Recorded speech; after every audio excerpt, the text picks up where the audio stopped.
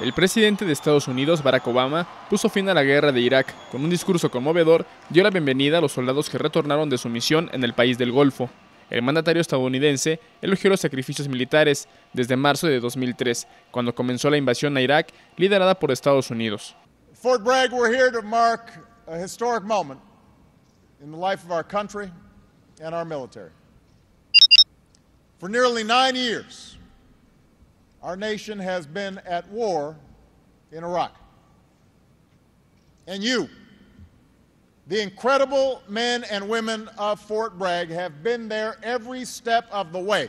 So, as your commander in chief, and on behalf of a grateful nation, I'm proud to finally say these two words, and I know your families agree.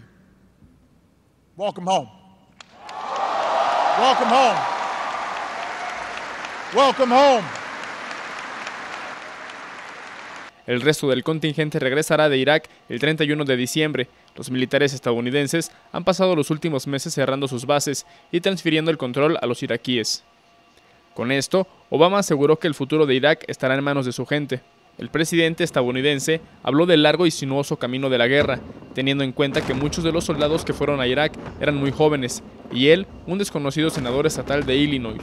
Se refirió también a las batallas en las ciudades de Fallujah y a la violencia sectaria que desgarró el país y recordó a los más de 4.500 soldados que perdieron la vida. Destacó las primeras batallas que derrotaron y derrocaron a Saddam Hussein y la red de insurgencia, atentados dinamiteros al pie de carretera, los francotiradores y los ataques suicidas.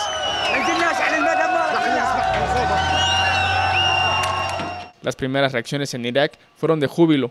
En Fallujah, una de las ciudades más afectadas por la guerra, unas 3.000 personas salieron a celebrar quemando banderas estadounidenses. Obama aseguró que Estados Unidos responderá por los soldados como ellos respondieron por el país y prometió cientos de miles de puestos de trabajo para aquellos que sirvieron en el ejército con el compromiso de las empresas privadas.